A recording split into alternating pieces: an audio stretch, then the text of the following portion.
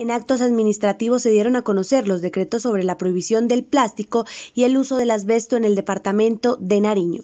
Con estos decretos desde la gobernación de Nariño se pretende generar conciencia y un manejo adecuado para poder realizar un plan de gestión ambiental. Estos decretos estarán en vigencia a partir de este mes. Entra en vigencia a partir de, eh, que se firmó el mismo la semana anterior.